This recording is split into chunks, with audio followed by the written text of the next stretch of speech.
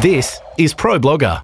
My name's Darren Rowse, and I'm the blogger behind ProBlogger.com, a blog, podcast, event, job board, and a series of ebooks designed to help you as a blogger to grow your blog, to increase your audience, to write amazing content, and to build some profit around your blog. You can learn more about ProBlogger and all that we do to help you as a blogger over at ProBlogger.com. Now, today's episode is number 202, and in it, I have my good friend and co author of the ProBlogger book, Chris Garrett, on the show to talk about the changes in blogging since we wrote the ProBlogger book. And Chris and I first wrote that book, the first edition of that book, in 2008, so coming up on a 10 year anniversary. Now, it's gone through a few different versions. Uh, third edition is currently out, but that was published in 2012, so it's been five years since we wrote the last edition of the book. And so I thought it might be interesting to get Chris on to talk about, amongst other things, how we would update that book if we were to do another version. Not that we're planning on doing that. Uh, the book, I think, still holds up pretty well at its core, but there are some things that have obviously come about in the last five years that we would add to that. And so if you've read that book in the past or if you want to read it, um, this is a good companion episode, I guess, for that. We cover a lot of other ground as well. Chris tells his story of starting blogging uh, in 1996. Not that it was called blogging back then, but essentially that's what he was doing. And he also talks about how effectively he monetized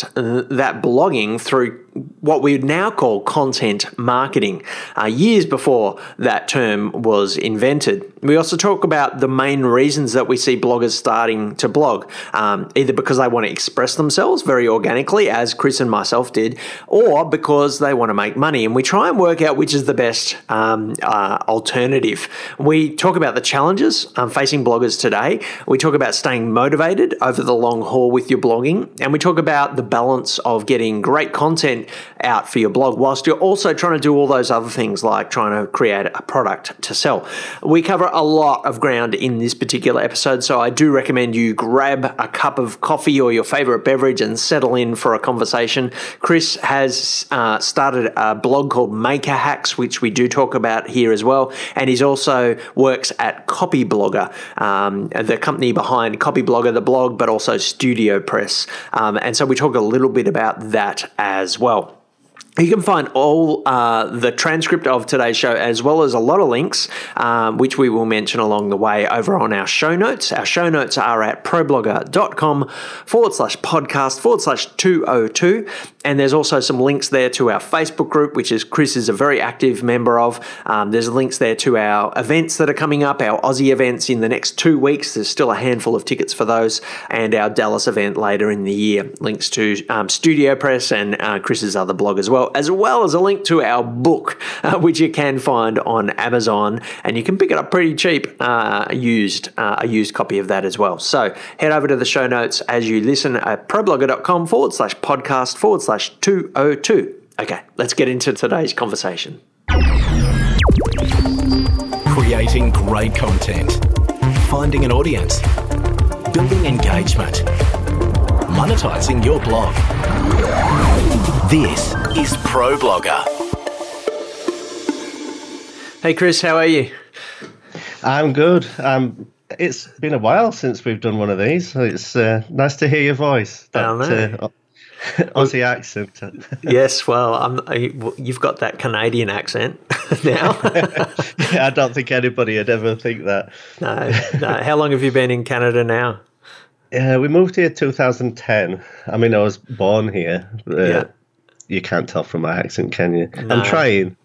You'll get there. You'll get there. You just got to put a couple of eh A's. Is it A's or is that how they end sentences up there? A, A? yeah. Yeah.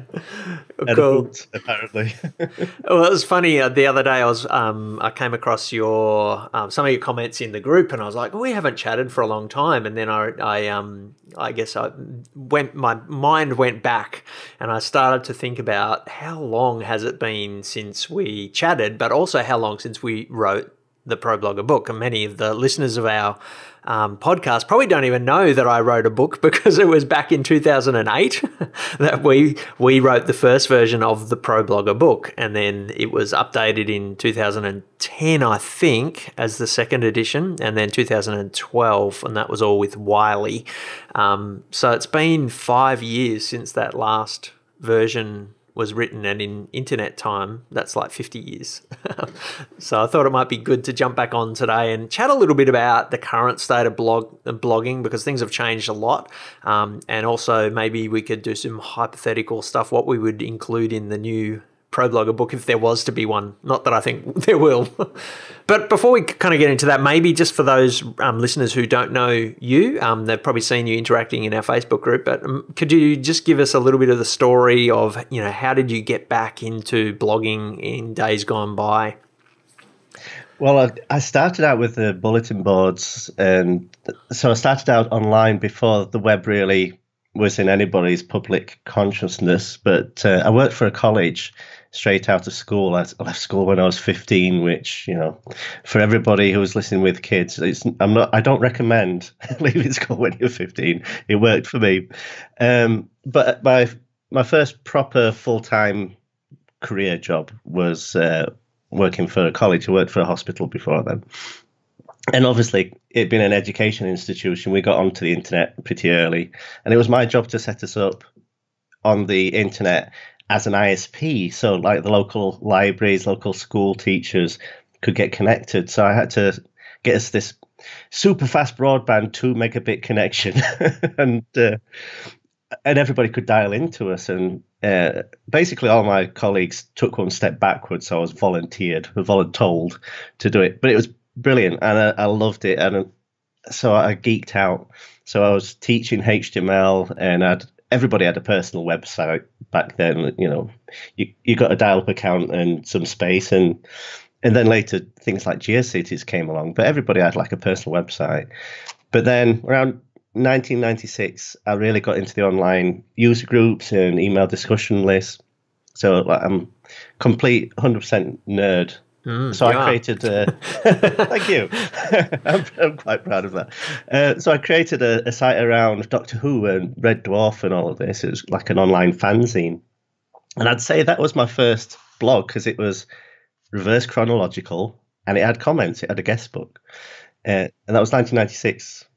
So, um, and at the same time, I was on like every programming discussion list I could find because you know, getting answers for computer programming questions um, wasn't easy, and I would pay back, so I would answer everybody else's. And that's how I started writing articles. If I repeated myself too often, I would say, "Here's the article. Ask me any questions you'd like." And suddenly, people started following me and really enjoying my articles and emailing me for with questions. I started getting a little bit of a profile accidentally. But the really weird thing is, um, and this is how my monetization started. First, I was invited to a site that did a share of advertising revenue, which I never anticipated. Steve Smith, he was called, really cool guy. But then people started emailing me saying, I want you to train our guys. And I was like, but I've given you all this free info. Is it incomplete? You know, other questions? And they're like, no, it shows that you know what you're talking about. We'll fly you, or, you know, we'll give you uh, accommodation and we'll pay you whatever it takes. Teach our guys this stuff. And I was weirded out because I, didn't have a sales page. You know, I, I didn't set myself up as that. And then I was getting these freelance um, writing opportunities, writing for print magazines. And it, it just, you know, it, all I'd done was answer some questions on the internet. uh, and you know me, I, I'm not the most confident or outgoing guy if I'd have set out to do that, well, I wouldn't have set out to do that. That's just not in my personality. So it it kind of landed in my lap in a way.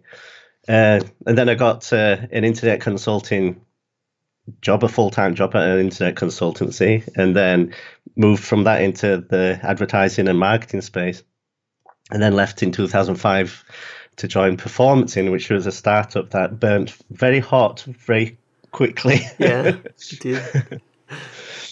yeah, uh, that, that's how I met you and Brian, obviously. So yeah, it was a, it was around that time we started to I guess come into contact, and um, I'd been approached to write this book by Wiley, and I, I thought that was a joke when I first got the email from Wiley saying, "Do you want to do you want to write a book?" And I'm like, "No, it's one of my friends joking who would want me to write a book." And then, um, then the, it dawned on me that it was true, um, and I suddenly started to freak out because a book was so much bigger than anything I'd written before. I'd written a lot of blog posts, but I'd never written a book, and so that's when I freaked out and thought, "Okay, I need to find someone to write the other half."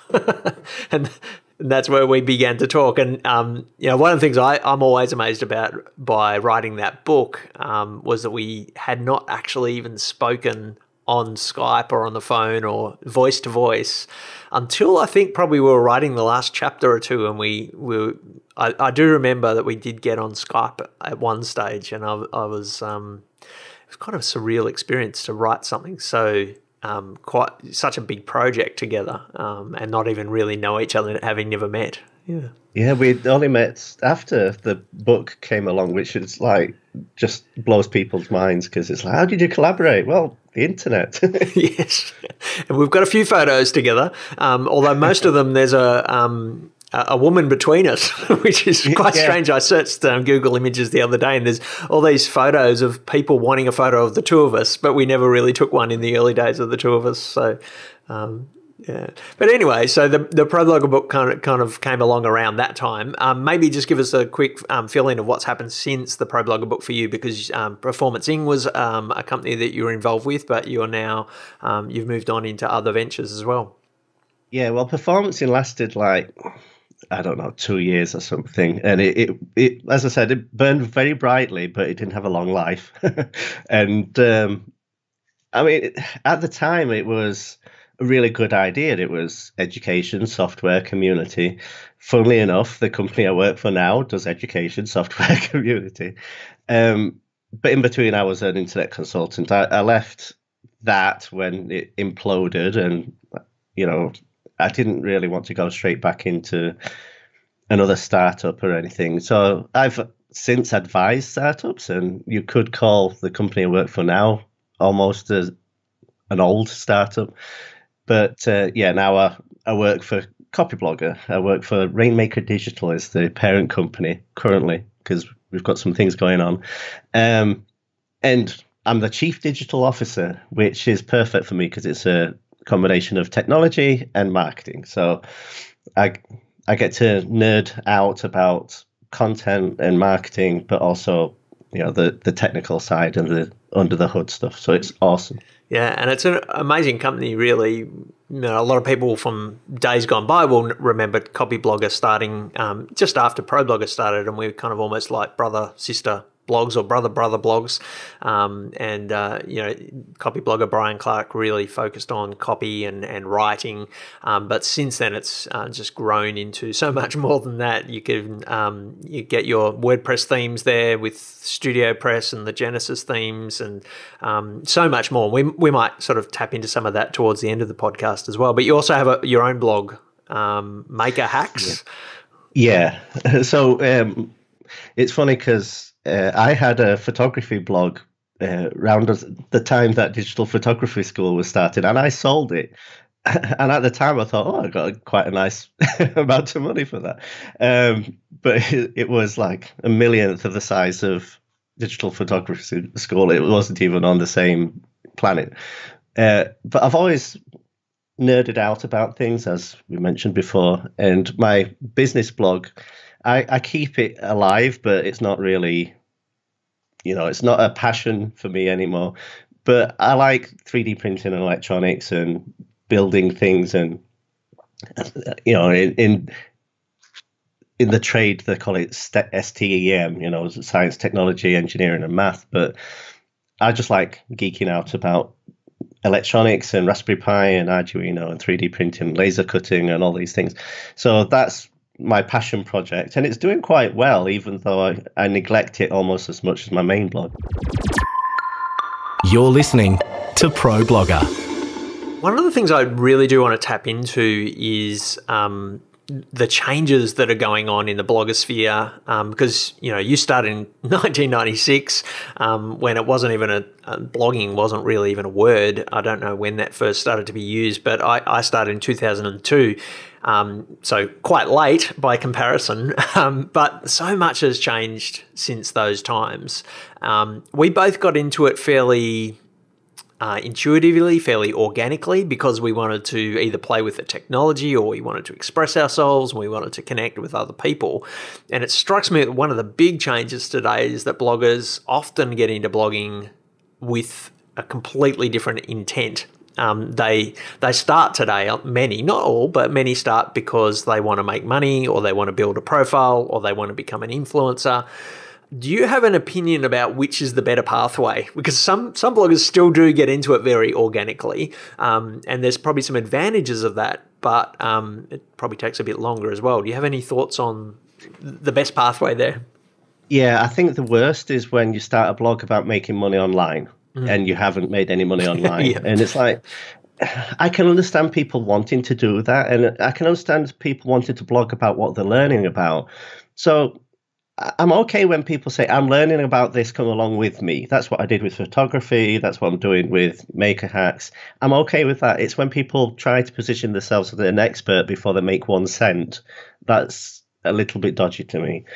But can you remember back when when we were starting to build a profile and when Copyblogger started? I mean, Brian especially was out on the in the trenches being shot at by people who were like, How dare you monetize? And now it's like people are i'm going to start a blog because i want to make money. And i think that's great in some ways. But during the promotion of our book there was uh, i can't remember what the film was but it was about somebody who started a, a cooking blog. And that really spiked our sales. And i think that was a turning point when people realized that this was a thing you know that you could create a website and make money in your spare time. And that it was possible because there was some cynicism when we were starting to talk about monetization as if it was not a real thing. And one of our friends even got stopped at the border because he said his career was blogging. yes, that's right.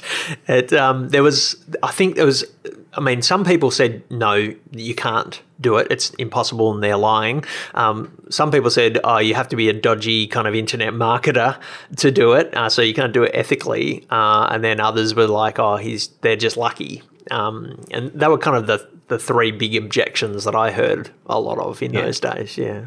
Yeah. I could definitely have understood um, anybody being cynical about it. And I think it's a healthy attitude. I mean, all through the book, we say it's hard work, it's not going to happen straight away, it's not going to happen for everybody.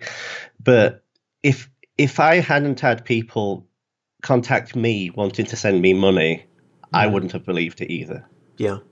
Yeah, and, it was a surprise to to all of us. I think, you know, you were surprised people wanted to fly you around. I was surprised when we were approached to write a book, and um, you know, when I made seven dollars on my first day from AdSense. Um, yeah. Before when, I realized when you were getting cameras to review because yeah. you had a photography site before digital photography school. That's right, and I think um, I guess the advantage for us is that we weren't trying to market from the start, and so it came across as very generous, very natural, perhaps. Um, and maybe that is one of the advantages of starting without the intent of marketing. Um, I did have some pushback though when I first created a digital product or mentioned selling any services. I did have some people saying you've sold out, and it, it doesn't matter how many people you say, you know, I do have to pay a mortgage. it, there are, but what I realized in recent years is they were never going to buy. Let them go. Let them unsubscribe. Call your names. There's always somebody else to talk to that is a better fit. But at the time, it hurt. It stung. You know, any criticism.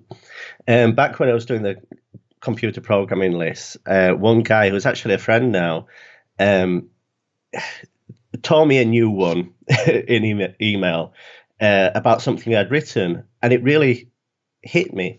And um, my wife Claire had to talk me down and say, "Don't give up. You know, this is just one guy's opinion. He might be famous in the the community, but it's one guy's opinion.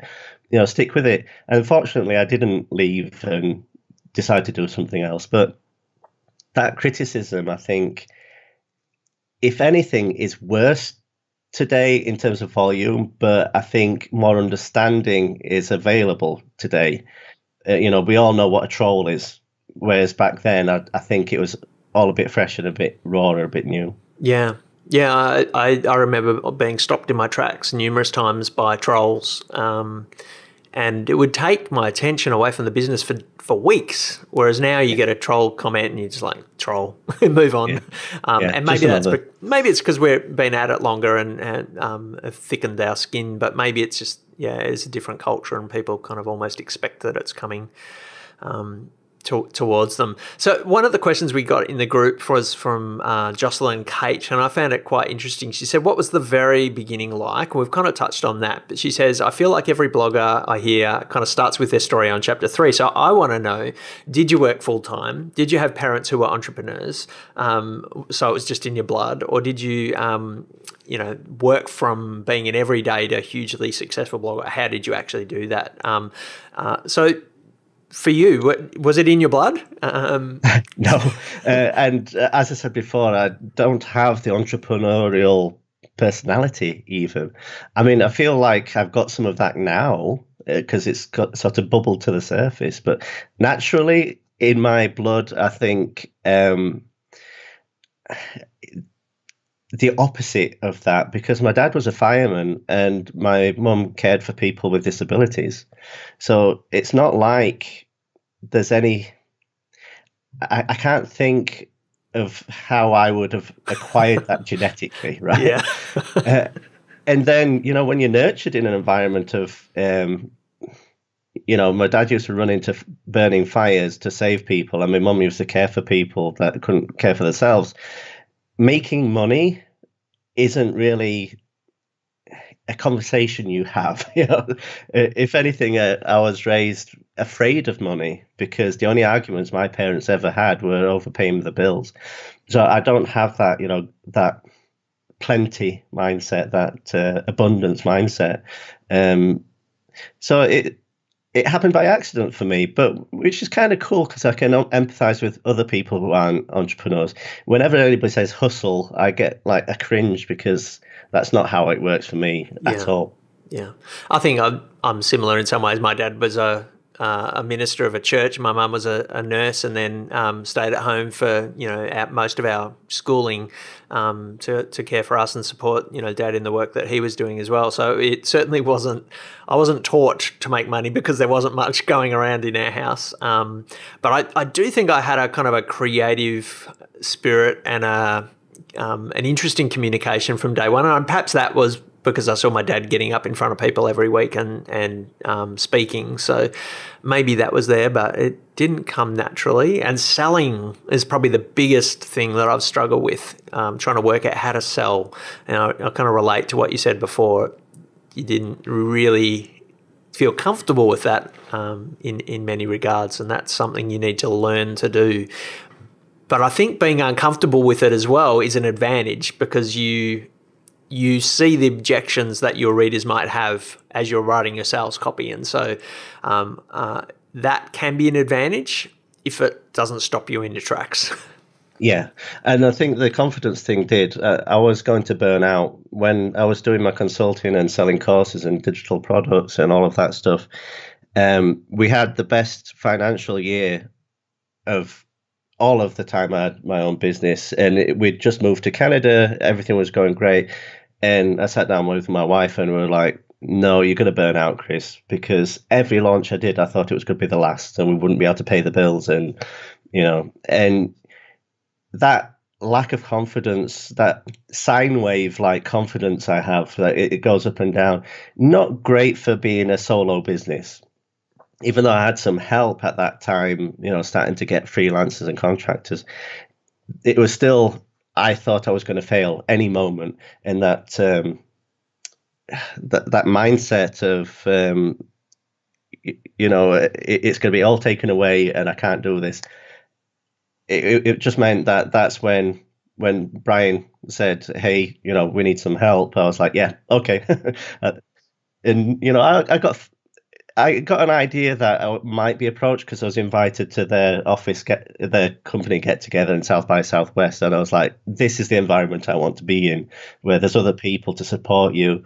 And um, yeah, so I I would have preferred, I think, in a way, to have kept my hand in, you know, been um, not full time, but it has been great having people around me, and it's because I I don't feel like I can do the selling, I can do everything else. I, you know, uh, I mean, I worked in marketing and advertising for a while, so I think that's that was my entrepreneurship um, training. But uh, I, there's something about selling personally, something that you created that is exciting and cool, and it's great the rewards, but it's also terrifying for people who personality don't naturally go to that. That's right, and I think, um, you know, I think some people are just better suited to working in other companies um, some people are better suited to having their own business, and I think for others it's kind of a bit of both. Um, and I kind of relate to that. And for me, the way I get around is to bring other people onto my team to do the selling, um, and I chime in, but it's it's them who is doing that selling. Um, and for other people, the way they deal with it is to go and work for someone else uh, um, in a team environment where they can just do their part. So yeah, I think there's different ways through that. What would you say are the biggest three changes in blogging uh, since we wrote the book? I think since we wrote the book, I think um, the dominance of Facebook is huge. But I didn't realize the culture change it would make. I mean, when we were writing the different editions of the book, we could see changes like Digg was the king, and then all of a sudden it was nothing. Um, but the fact that people don't share links as much, I didn't expect. You know, the focus people would absolutely move their blog from their own space that they owned to these other spaces like Medium and Facebook and YouTube. That surprised me because the idea of a home base is still crucial. Having an email list is still crucial. But so many people have this emphasis on social media, which means people aren't sharing links, which means that the comments moved away but one of the other biggest is um, the technology is so much more accessible now, and I think it's easier to start technologically. It's easier to start if you have the right community mindset that we talked about earlier. It's that's still a thing, um, but it, I can see the resistance people have because they think, well, why would somebody listen to me when there's all these other people out there? Mm, yeah, I, I think it's the the weight of content that's been created is one of the biggest changes and challenges um, that's come about, um, and that's it does put off a lot of people, and it's probably the number one thing that stops bloggers as well. I've I've noticed over the last years, people just unable to have their voice emerge through that that noise. Um, yeah, that's there. But there's so many more channels for the voice. I mean, the perfect examples are podcasting and video and live streaming. I mean, you can actually get paid to be you on Instagram. I mean, people are managing to do that all the time. I mean, there's an unfortunate side effect where the people chasing fame to the point where they actually injure themselves or others. But that idea of being an influencer and being paid to have a lifestyle, if somebody had said that to us back in the early 2000s, It's interesting because we we were very much um, when we wrote the book, um, and you know probably for a good decade there, niches were king. Um, everyone had to choose a niche, and I still think that's good advice for many bloggers. But we have seen this lifestyle. Um, people want to know what your life is like, um, and that's almost a return to personal blogging yeah. Um, in in many ways. But it's now happening on Insta um, Facebook and, and other places as well. And so, it's 24 7 instead of episodic, which it used to be. It's like, um, I mean, I follow some people on Instagram and they're literally updating their um, stuff hourly. And it, that seems so invasive to me, but they love it. So, yeah. I wonder whether there'll be a swing back to the, the niche. Um, in some of those platforms, like it happened in in blogging, um, whether people are going to get fed up with the minutiae of life being shown. I'm not sure. Maybe, I don't know. Maybe it, it, will, maybe it won't. I wonder if there'll be a, a backlash against being so transparent as well, because that privacy thing, it it's something we worked out quite early on, and then now we've got an entire generation of uh, content creators who are letting it all out. I mean, to the point where people know exactly where they're at, they are at all times, and you know, I don't know. It, it seems a bit scary to me. Creating great content and building your audience. This is Pro Blogger. So, one of the questions I wanted to ask you was um, if you were to rewrite the Pro Blogger book today, what would you add or change? Um, and maybe some of that's going to come out of what we've just been talking about. But um, the last edition was 2012. It's been five years. What do does anyone who's read the book or is going to read the book? I think a lot of it still stands up today. Um, but what would you change about it? Yeah, I think the core strategy will never change because it's about generosity and attracting people who you can help and reach and you know who are interested in what you can share but the tactics have changed quite a lot. And you know we had a, quite a lot about SEO but we didn't really go into paid traffic. And um, we certainly didn't go into the full marketing automation funnels. Um, I mean we had some I think about email but I don't think we went really into the full tactics now that are quite common. Um, I mean, when I launched my chrisg.com blog in after performancing went away, it was kind of revolutionary to people that I was giving a free ebook away, and I did it with my feed uh, as well as email, and people were like, "Whoa, this is new," and now it's kind of expected, right? So um, I think video tactics, live streaming, and like Instagram and all of that definitely would have to be in there. But at the same time, we, probably wouldn't emphasize things like AdSense, maybe. Yeah, I think it'd still be there. I, I, had a look through it the other day at some of the monetization um, chapters. Um, we did. We had two pages on affiliate marketing. We had one page on selling e-resources, one page on ebooks and courses and that type of thing. So yeah, let's have a look at digital photography school. yeah. So since then, digital photography school that is our they're our number one and two income streams. Whereas when I wrote the book, AdSense was still number one. So monetization has shifted, and I think we'd also be wanting to include subscription, um, you know, membership type um, things. Um, you'd also be wanting to probably do software as a service as a at least a small mention because you know there, there are more and more blogs who are doing that type of thing as well. So. Um, yeah, we we've had a lot of content on advertising and influence marketing. Well, not we didn't call it influencer marketing, but it was um, you know how to get advertisers on your blog, but a lot of it was more about getting banner ads on your blog. Whereas I think today, I, I, felt like we were a lot more cynical about um, sponsored posts and uh, that side of thing than we would be today. Yeah, sponsored content, ambassadorships, those type of um, that monetization monetization is definitely there's been a big shift in that. Um, yeah, so I think monetization has changed a, a fair bit. Um, but at the core of it, like you said, generosity. Um, we had, I guess, our main four pillars that we call them were, you know, content, great content, promoting your blog, building community and engagement, and monetization. There were the four things that we said that you need to do in order to have a profitable blog, and I think that still stacks up.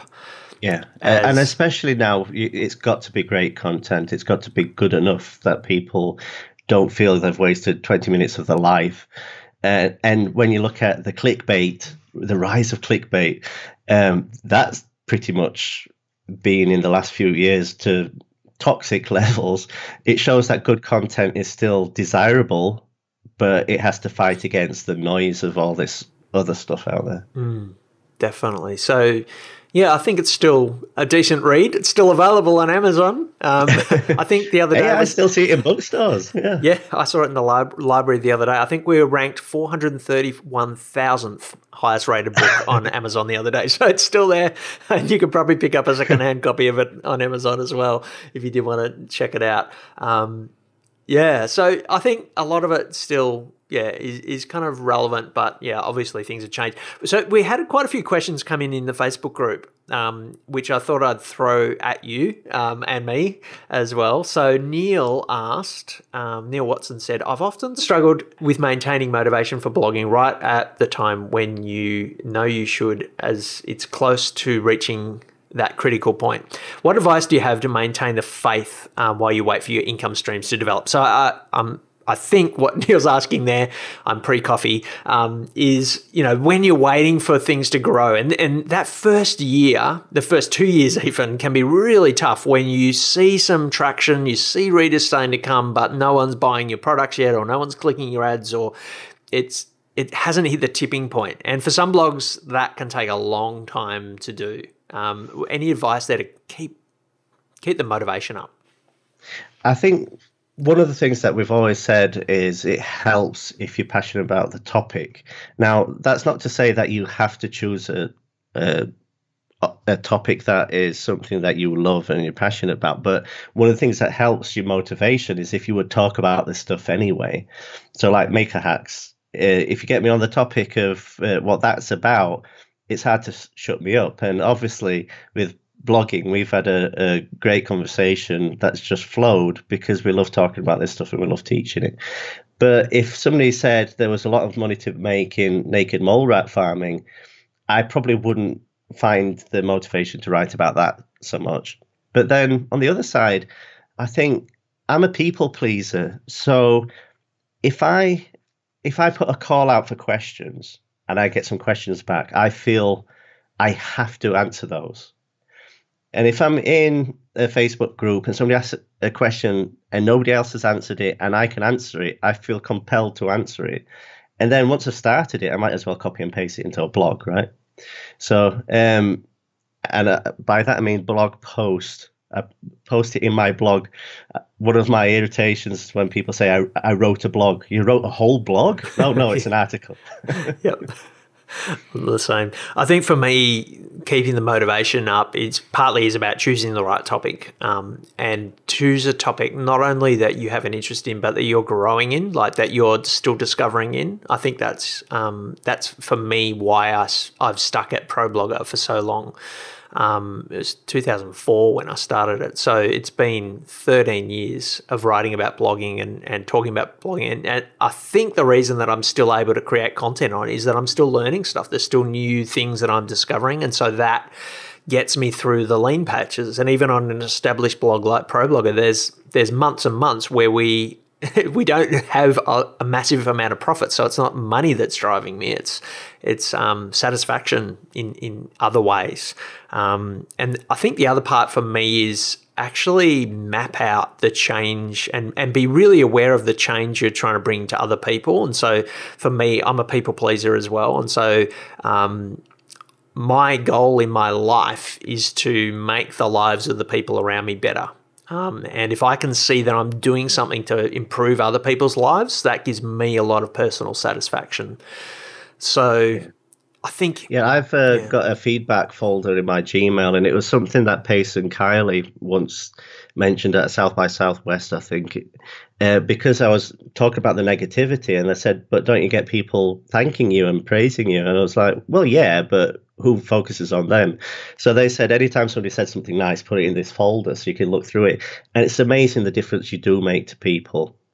I'm not going to mention any names, but over the years, there have been a lot of people who have come back to me and said, like, Chris, if you hadn't have said this at this time, I don't know, you know, what would have happened, or the advice you gave me then is turned into how many figures now. Um, and you know, occasionally people say, "Did you hear so and so say on this webinar about you?" And that keeps me going as well because it's like I, I like being behind the curtain, um, Wizard of Oz style, but it's nice for people to, you know, show that what you do makes a difference. So if you can make a difference and people are willing to tell you about that, mm. incredibly motivated. I think the other thing I'd I'd say to Neil is you look at your stats and you see a number um, just remind yourself constantly that the amount of people who've shown up on your blog is not just a number, it's people, it's human beings that have shown up on your blog. And, and to me, that makes a massive difference. If 100 people look at my blog over over a week, over a month, that's pretty significant that 100 people have taken the time, like human beings have taken the time to read something that you've said. And they may not leave a comment, they may not buy your product, but in some way, that is a valid thing and that's important. You may have just changed yeah. one of their lives in some way as well. I think there's another aspect though as well that you, for the first thousand subscribers, uh, you you don't really see that reward for the effort you put in, and then suddenly the the dam bursts. I'm going to mix my analogies, but it's like a flywheel. You know, it takes effort to start, and then it's got a life of its own. Or cranking the old manual start cars, where you'd have to crank it and crank it manually, and then suddenly it, uh, the combustion engine would take over. It's the same with blogs. There, there seems to be a threshold that you have to pass, and so many people give up before they get there. It's one of the memes that goes around. One of those quotes that somebody put my quote on is uh, that people give up when it gets hard, but when it gets hard, it's often just before you succeed. And there does seem to be like a dam burst moment for many blogs and you can't time ahead of time when it's going to be, but you can feel it after it's happened. Yeah. But yeah, so keep working. you can do it. You can do it. Um, yeah, uh, compete against your, your yesterday's stats. Don't compete against other people. Don't think they've got thirty four thousand subscribers. I've only got ten it's like being at the gym. Compete against you, not Arnold Schwarzenegger. Yeah, and that I mean that reminds me of what I used to do. I used to look at my stats from last month and make my goal to be ten percent higher next month. Um, and some months I went twenty percent or thirty percent higher. Some months I went backwards. But I think if you can keep that trajectory moving forward, um, even 10 20% a month increase over time that's an exponential growth. And you do the you extend that out for a year or two and you'll be amazed at where you could be if you keep that kind of small step by step growth up. Um, yeah so little goals can can really help you get there. Um, another question that came in from emily um, she says, I'm having the same problem at the moment. Good subscriber base, highly engaged audience who are ready and waiting for products to buy, and I'm struggling with the overwhelming task of not only continuing to blog regularly and increase my traffic, but also to put the products, um, the books and ebooks, um, together. Um, so, and I see this tension a lot. You know, bloggers who know they need to keep content coming, but they also want to create something to sell and to create something to sell is going to take them away from the blogging, which could then decrease their audience, which means they won't have anyone to sell it to. So, how do you get that balance right? And you've you've gone through this. You've created products. Um, I see you're doing something at the moment on um, on your current blog of putting a product together as an ebook or a course that you're putting together there. Yeah, it's a, a, workshop that you know. Eventually, it's going to be three prices. The typical strategy of small, medium, and large, with the small being just the ebook. And uh, the way I did that uh, is to use the fact that I'm a people pleaser and uh, the accountability of that. I pre launched it and said, anybody that buys, pay what you want. Anybody that buys will get the full thing and gets to give feedback to me, steer the ship. So you almost get a bespoke product. You get the cheapest price it'll ever be, but in reward in return for your feedback, right? So, and there was no product.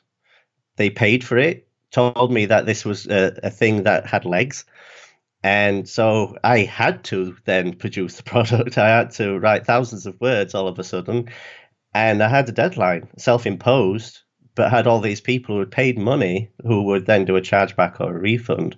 Uh, I'm using Gumroad because it's got a pay what you want feature. Mm. So I had to deliver.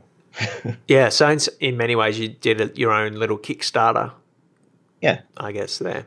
Um, so the, it tests the market as well yeah. because if nobody put a dollar in, I knew I'd have known that nobody was willing to. Because people tell you they want to buy a product, but until they actually get their hand in the wallet, they can change their mind. And people buy with their mind, their brain, before they buy with their credit card. Um, so you can't just say, "Hey, I've got product now." because that's not going to sell as well as you know you have to do some sort of pre-launch.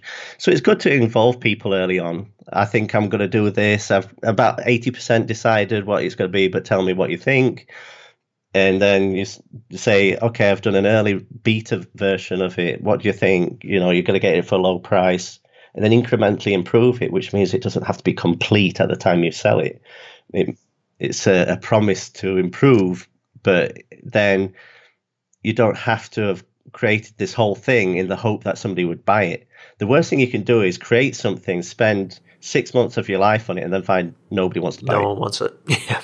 Another thing that I've seen some bloggers do is um, with an ebook is release the first two or three chapters for sale first at a you know massively reduced price.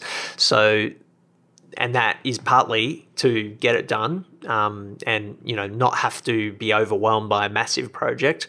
Um, but also partly it's a proof of concept. If anyone buys those first few chapters there's a, a, good chance that they'll want the rest as well. So uh, there are different ways to do that. I guess the other alternative is to write your ebook on your blog, which is what I did for my first two. Um, gave 90% of it away on the blog, but people then purchased um, the ebook because they wanted the extra stuff that I put in, but they also wanted it in a nice package, a logically um, easy to read package, um, rather than having to go through all the different blog posts that were already on the blog. So it may be another way to go about it too. How to build and monetize your blog. This is ProBlogger.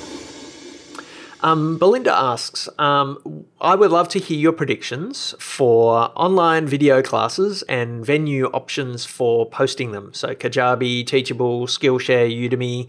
Um, do you have any thoughts on that um, in, in terms of, um, I guess it's courses, um, yeah. video content?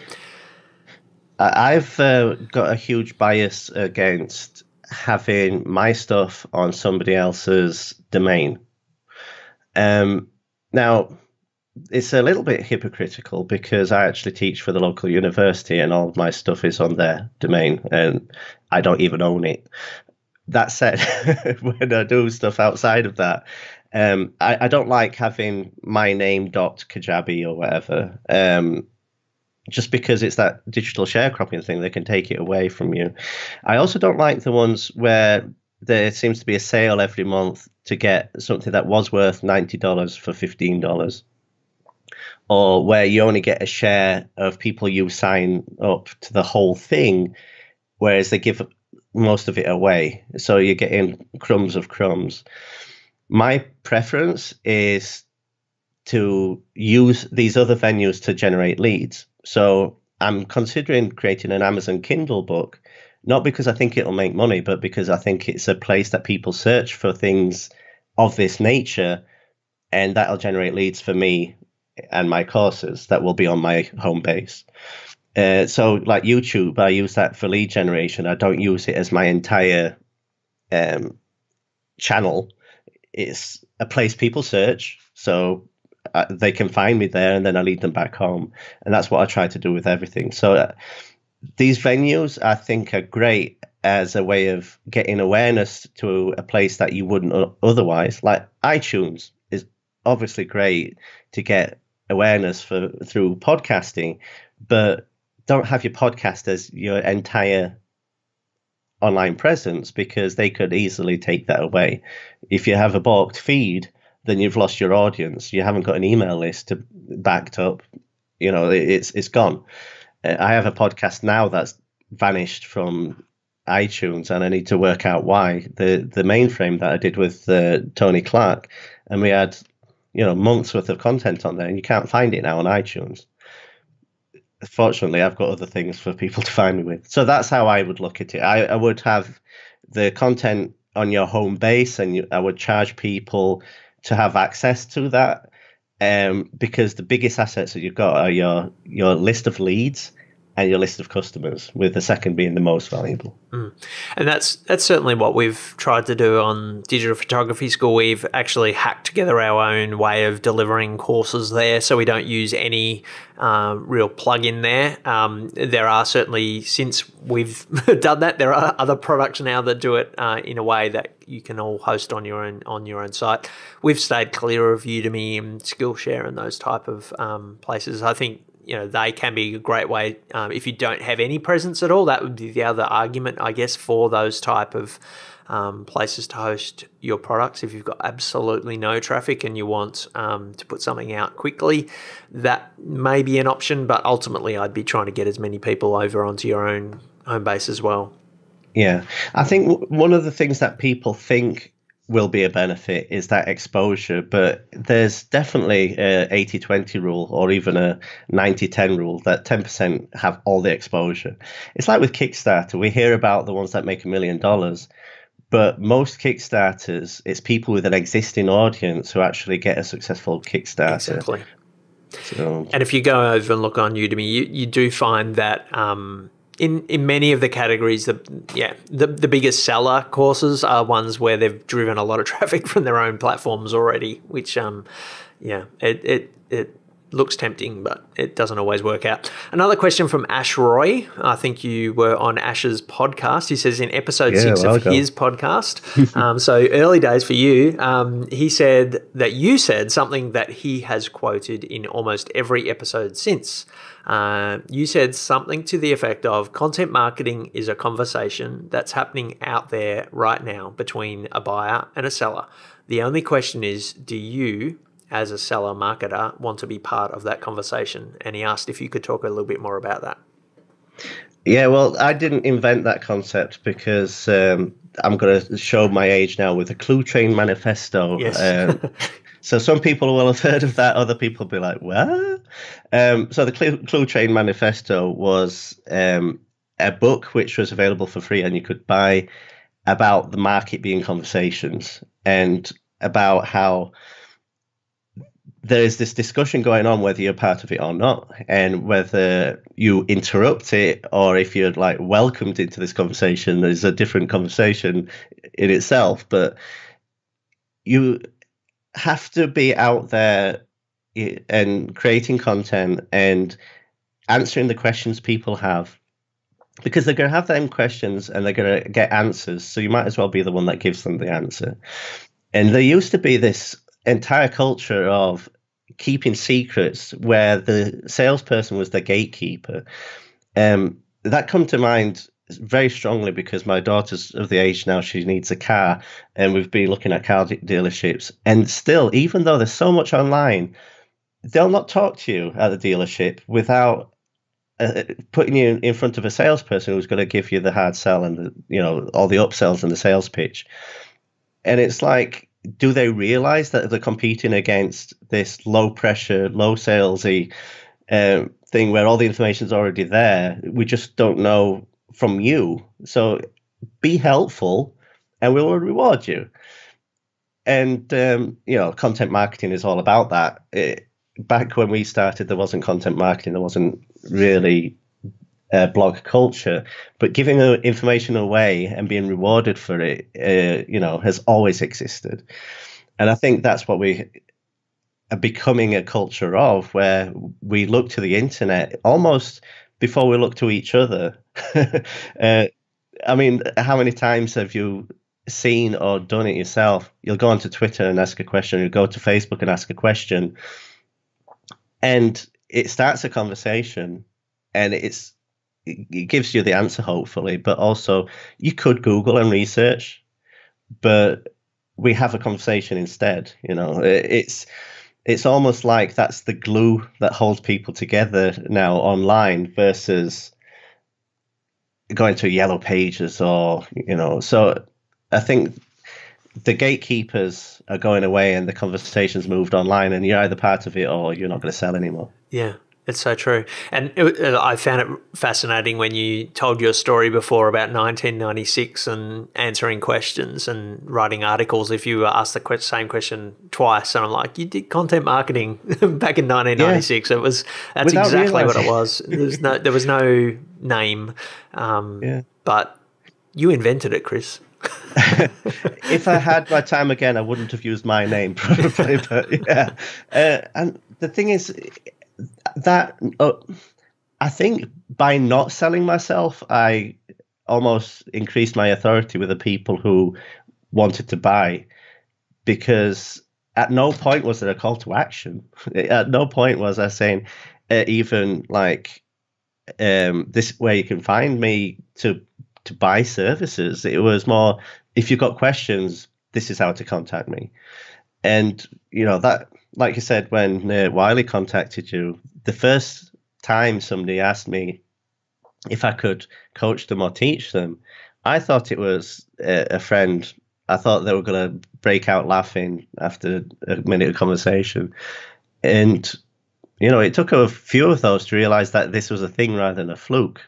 But I just carried on doing what I was doing. I did in in the end set up a page, but at the time it was just, you know, we, it, there wasn't just me writing articles. A lot of people did, but you know, to be asked to write articles for print magazines because of something found online, that was really weird because I never thought of myself as a writer. I was just a nerd who happened to write. Mm. So you started Maker Hacks. When was that that it kicked off? uh, I bought the domain, and we actually did a webinar, you and I, about um, how to start a, in a new niche and how ah, to research yes. it. And I did all the research, and then um, I had that imposter syndrome kick in, and I got busy and I made excuses.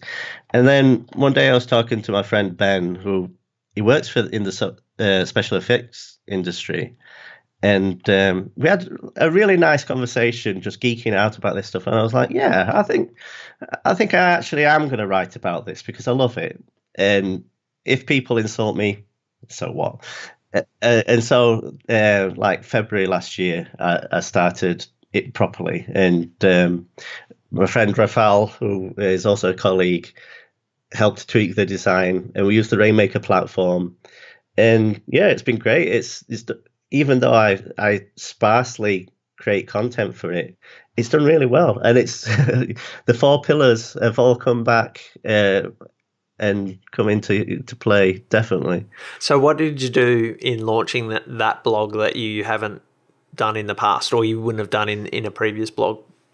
Uh, I did exactly what I did in a previous blog. Uh, everybody be shocked to hear I was in Facebook groups and I was answering questions, and any question that came up a lot, I would write about it. That's so surprising. but um, you know, there's a lot of groups that if you're helpful, they will allow you to drop a link. Now, I'm not saying spam Facebook groups, please, uh, and it's not my biggest traffic um, source at all but as a way of getting insight into what people are being challenged with and the questions they have, you can't beat social media. It's a complaint delivery system. So you go into Twitter and you go to Facebook, and people say, "Why does this not work? How do I do this?" And then you write an article about it. It's awesome. But yeah, search traffic is by far my biggest uh, source of traffic. Um, and you've only been going uh, since February, wasn't it? I, I think February last year. So it's not it's not an old blog. And I noticed you posted a picture in the Facebook group yesterday or the day before about how search engine optimization isn't dead, um, because even a relatively new blog you were getting decent SEO traffic. Yeah, uh, and Google's been very kind to me, but how did I get those links? I guest posted. I actually got paid to write a couple, which is even better because it's guest posting, but with compensation. Uh, and so, uh, if I look as we speak, uh, I've had 14,728 Google visits um, this month in the last 30 days. And, you know, that's just doing the stuff that we wrote about in the ProBlogger book. it's not much different. You know, you write good content, you you tweak it a little bit so that search engines will know what you're writing about, and then you get links to it. And that's same we always talk. But I think you know you you do need the other pillars. It's not just promotion. Um, it's the combination. It's the you know the sum of the parts combined give a bigger whole. Yeah. So one of the things I noticed you're doing quite a bit is not only engaging in other people's Facebook groups, but you seem to have your own for maker hacks as well. How important has that been? Uh, I guess that taps into that community engagement part uh, pillar that we often talk about. Yeah, and um, one of the things I think that has been important about it is that group is almost a refuge from some of the other groups for people um, because I have a zero tolerance for trolls. and people get beaten up online a lot, and um, especially people who uh, maybe a bit timid or English isn't the first language, um, they get chewed up a little bit. So one of the things that I like to do is just make sure that there are ground rules and everybody sticks to them and everybody's nice. But one of the other parts of it is um, there's some authority by gathering a community around you, even though I'm not the most knowledgeable of this topic. I mean, you know, I'm in the same space as uh, Adam Savage from Mythbusters. You know, I'm not going to be the expert, but I can be somebody who is uh, known to be generous and kind and you know uh, approachable in the community, and having my own space to invite people to is part of that. You're listening to ProBlogger. Do you feel any danger in investing into someone else's space because you know we've talked a number of times today about building your own home base. Yeah 100% there's the danger because um well there's there's two dangers. One all of my comments have moved to facebook eh, because i've turned them off. So eh, facebook owns my discussions now uh, so that's both great and uh, awful in equal measure. But you know we talked about trolls earlier. One of the things they will do is brigade and all get together to mark something as spam or as illegal or offensive. Things get taken down on YouTube. You know, channels get taken down. Facebook groups get taken out. Um, the unfortunate side to my brand is hacks, and it's uh, the the word hack for some people means hacking, and that means illegal activity to them. So keep attracting people who don't know what we're talking about. And so come say, have you got a hack to break into Android or do you have a, a crack for Windows 10? Uh, so I've got some questions now that people have to answer before they can join. The amount of people say, no, I will not follow the rules, but they answer the other questions correctly. It's like, you really think I'm going to allow you in when you say you're not going to follow the rules? But uh, another danger, which you might not really think of as it's a first world problem, if you like. I've got over 6,000 members of that group, but my email list is lagging behind. I haven't even got a thousand email subscribers, which, you know, for an 18 month old or under site, that isn't terrible. But I'm used to growing my email list a lot faster than that, especially with the stuff I'm giving away. So the danger is that people find the stuff already and don't feel the need to sign up. And so, you know, am I hurting the long term? I don't know. Mm. It's interesting. In episode 196 of this podcast, we interviewed Nikki Parkinson, and she talked about how she only allows people to join their Facebook group if they sign up for an email address, uh, email list first. So the Ooh. way you get an invitation is to sign up a form, you give your email address, and then she sends you a link to the group. Uh, That's interesting. She said she's grown her email list um, much faster that way um, as a result of that. Um, well, I do know that my group is growing partly because Facebook keeps recommending it to people because they tell me. Uh, so I, I, think my strategy right now is to get people from the group to my email, and I think I just have to show them a, a better reasons. argument for yeah. that. Yeah. Yeah maybe some exclusive content there or, or... Well, there is exclusive content but it's not something that appeals to everybody and that, mm. one of the things about my niche is it's not very niche because it's such a broad thing it's um it's making and yeah. so i've got woodworkers all the way through to robot builders yeah. you need a couple of groups yeah um, so one more question on Maker Hacks. Um, I you mentioned it before, but you've got your work um, workbook or workshop or, uh, or, something that you're building there, that product, um, and you've got your name your own price at the moment with the beta, and that made me uh, a little bit curious. Is it working? Yeah, are people actually paying? Um, they are. Yeah. Uh, I, mean, I've, the the lowest you can pay is a dollar. Yeah. So, um, and the, we we know there's a huge gulf between zero and a dollar we talked about it earlier. People say they want a thing, and then you know it works out that actually they really didn't want the thing; they wanted it for free. Um, the the nice thing about doing pay what you want is people actually tell you what it's worth to them. And there are some sneaky psychological tricks so you can frame it so people will pay more. I haven't done any of those.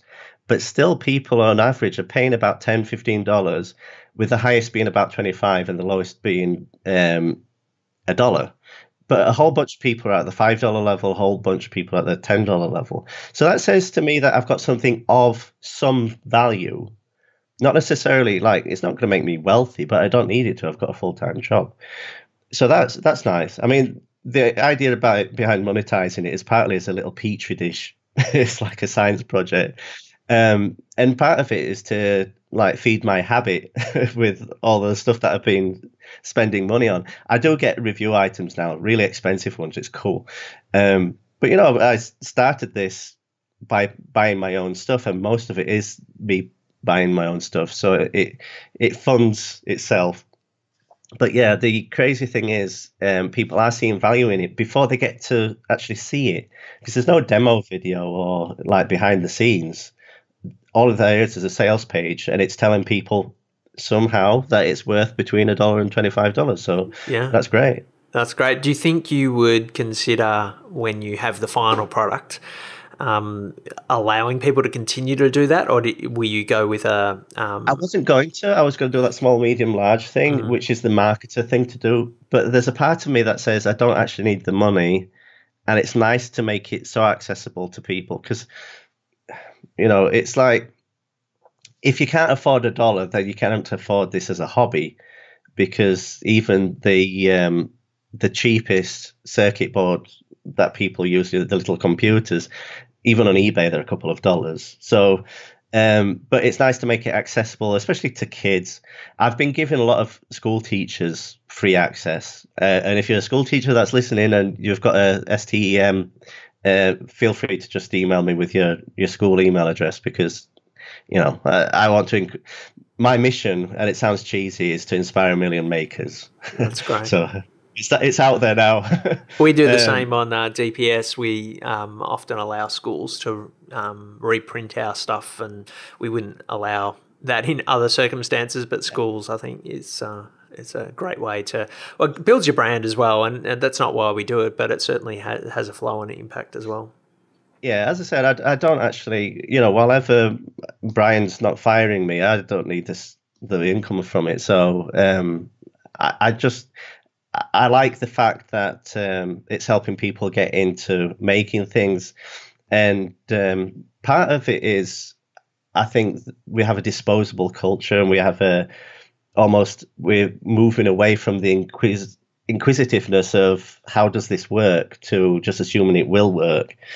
There's a lot of black boxes. So I, I want to encourage people, especially young people, to take things apart, putting them back together again, and make new things.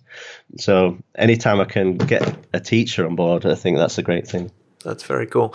So you mentioned Brian again there. It might be a good time just to talk a little bit about Rainmaker Digital. Um, you mentioned your role as the Chief Digital Officer. Uh, yeah. what does that mean? Uh, well, a few people have joked it should be OCD uh, but, instead of CDO, but it, it's a combination of marketing and technology. And um, as you know, marketing technology is a thing that over the last 10 years has exploded. There's like so many tools, so many ways to automate things.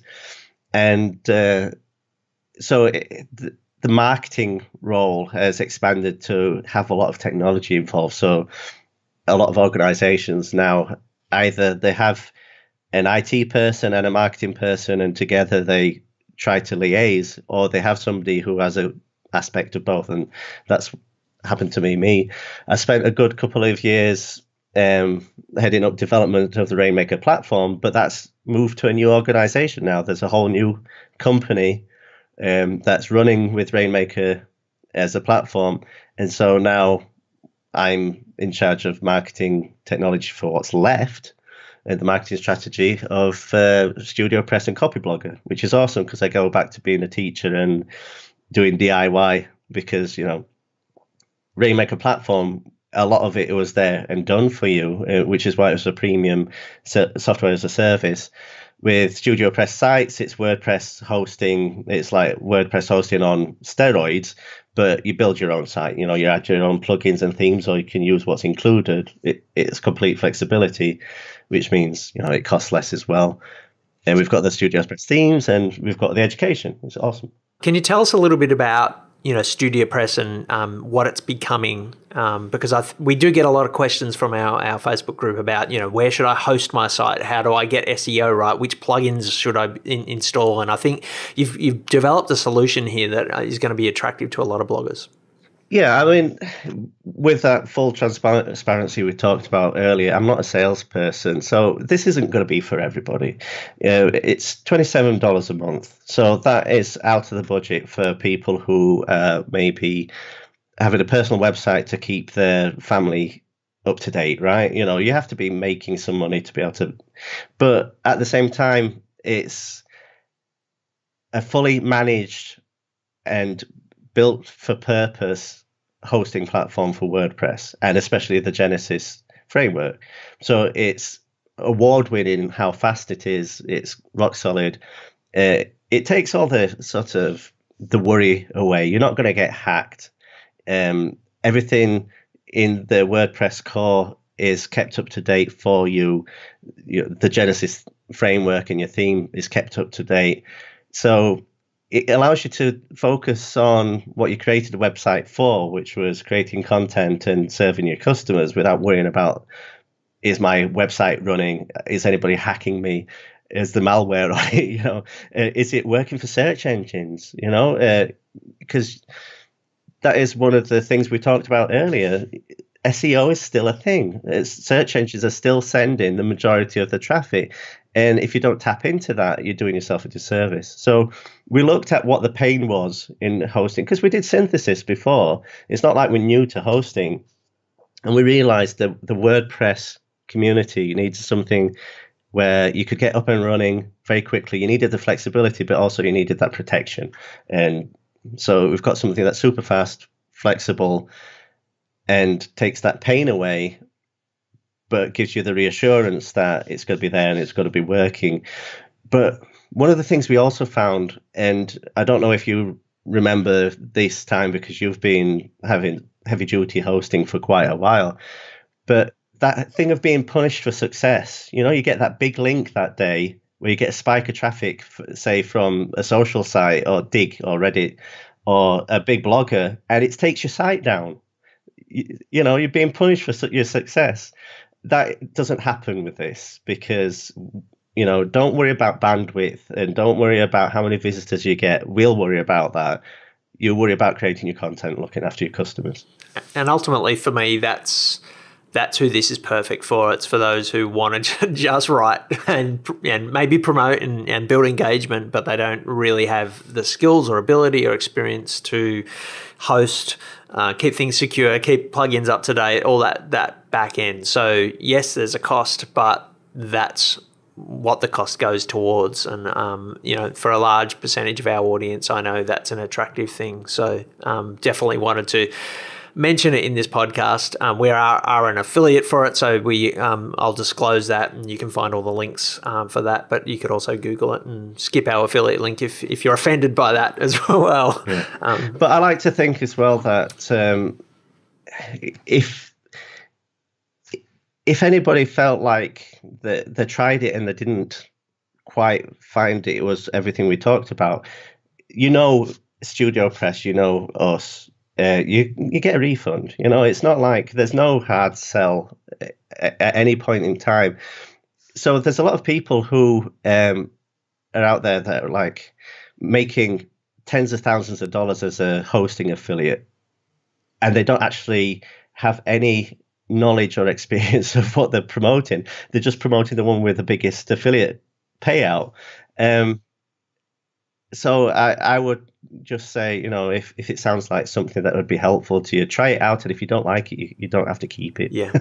and I mean, you uh, pointed out earlier that amazing little graph um, um, of how many people are on the Genesis framework these days. I think it's 16% of all WordPress theme usage is now with Genesis. Yeah. So it's not an untested theme um, oh, or no. platform. Uh, this is something that is the most common um, tool out there. Anyway, this is not a sales um, podcast. I just no. really wanted to mention it because it's it's something that we've used over the years. Our our yeah. sites are hosted on Synthesis, which uh, same servers, um, and and so it's something we genuinely believe in.